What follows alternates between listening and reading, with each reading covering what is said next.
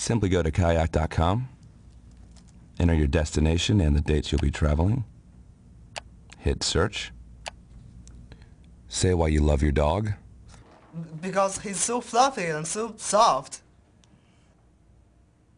and select the flight deal that's right for you.